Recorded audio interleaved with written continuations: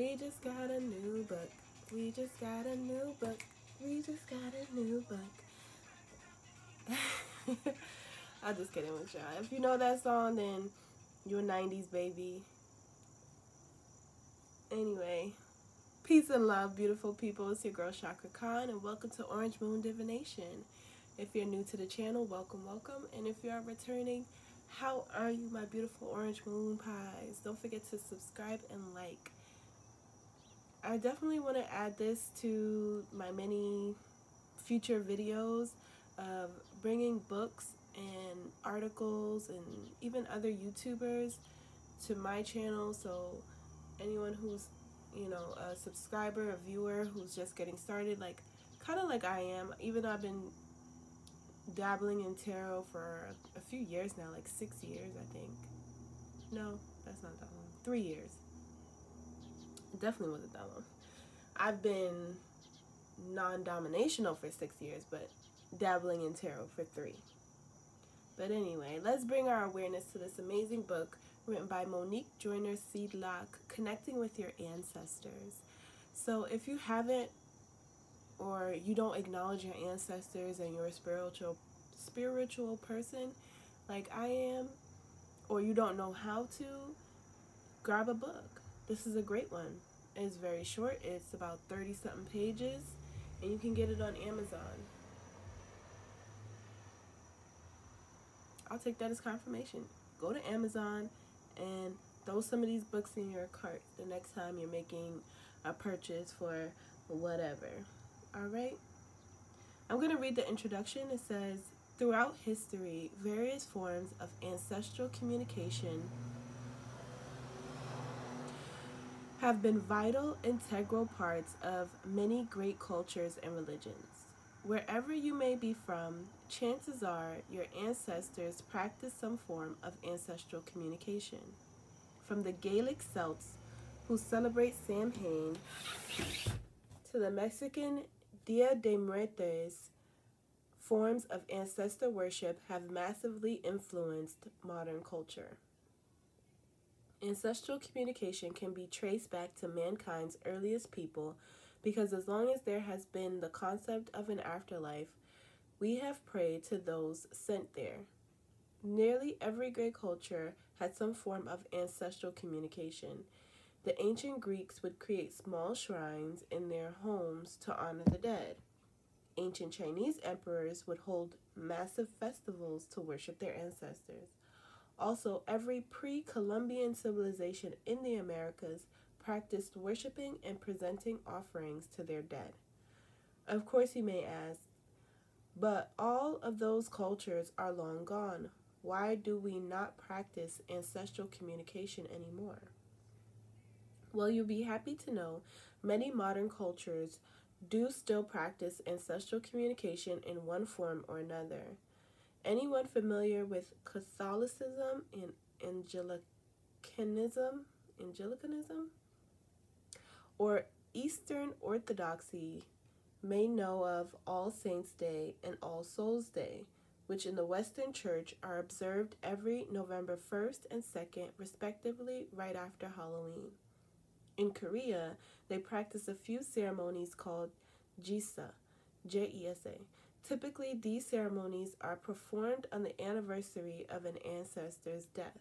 In addition to services performed on a specific anniversary, there are also ancestral rites held on the 10th lunar month and tea ceremonies held four times a year on significant anniversaries.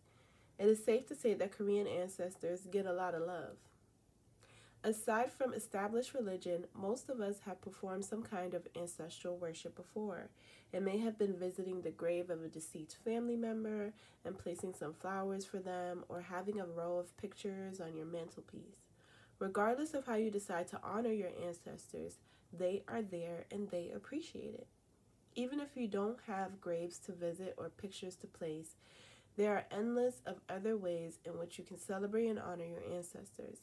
As these as this book continues, we will examine them one by one. So that's pretty dope um, to learn that other about other cultures who also um, visit or talk to or hold their uh, past ones in high regard, their passed over loved ones in high regard who believe that they they visit us or um, protect us. I always thought that was um, beautiful. I actually went to see a reader. Um, I don't think she was real though. I just did it on a whim. It was kind of like you're there and you just want to see what someone says. And she had mentioned someone who had passed away who was fiercely protective of me, but I couldn't think of who she was talking about. Because I think she even said recently, someone recently passed away. And I'm like, nobody recently that was close to me passed away that I could think of. Which is good, so I don't know. But it's always nice to hear that, you know, that someone um, who's not here physically is here with me on the spiritual plane, and whoever this person is, if they are actually, you know, who she says they are, um, I feel it. I definitely feel fiercely protected by the ones who came before me. Anyway, so we have chapter one. Who are our ancestors? Our ancestors are those who came before, not just your great grandparents, but also their great grandparents, and so on. It's your entire bloodline from the first of your family name up to your recent relatives. Our ancestors are who we have to thank for us being here. Without them fighting for survival over the centuries, we would never have existed. For that, I think the ancestors of every person deserve some well earned respect and admiration. And I second that motion. So, thank you to my ancestors who are here, the ones who are fighting for me, the ones who are sitting back and watching, the ones who are putting in the work behind the scenes and keeping us safe. Uh, this is for each and every one of us. Remember to rise in the um, in uh, when you get up in the morning and upon rising, if you're thanking God, thank your ancestors as well. If you're, you know, saying a prayer, say a prayer for them too because they're there, they're watching over you, whether you believe it or not. Every time I think of my ancestors, I think of that movie um, Mulan, and you know she went to the temple and she was they were they were discussing how they were gonna help her, and I feel like that's how a lot of our ancestors gather around. They're like, oh, how are we gonna help this one? How are we gonna do this? You know, what can they um, manipulate or or push in our favor or take away from us that we don't need. So it's very important to stay in tune and stay connected with our ancestors. Or even just learn who they are, learn their names. Because remember, it's not just the ones who have recently passed, but their grandparents, great, great, great, great, great, great, great, great, great. okay, all the way to the beginning of your family line. You'll be surprised if you start to trace your history back, how far it goes back or where it started.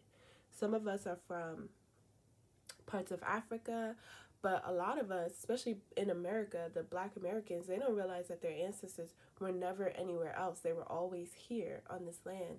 They were part of the Gullah Geechee tribes or the Navajo tribes, or let me see if I can find any more. I live in um, the New England area, so tribes in New England.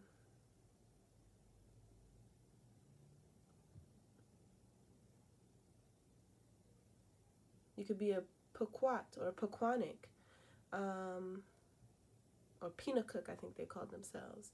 You could be a, a Mohegan if you're from this area and you didn't even realize. So there were a lot of, excuse me, there were a lot of uh, Aboriginals that that all over this country before it was colonized, and that melanin is what connects you on such a spiritual level, not just to the earth, but to the ones that came before you. And once you realize that your history was purposely, purposely taken from you or or, or shifted or changed, renamed, relabeled, rebranded, you'll start to understand why the importance, the absolute importance of honoring and connecting with those who came before you. So, long story short, grab one of you grab one of these books grab one of you. Grab one of these books from Amazon. We have Monique Joiner Siedlak and plenty of other authors that go into detail of how to connect with your ancestors. Find the book that vibes with you and take it from there. I hope you have the great rest of your day. Peace.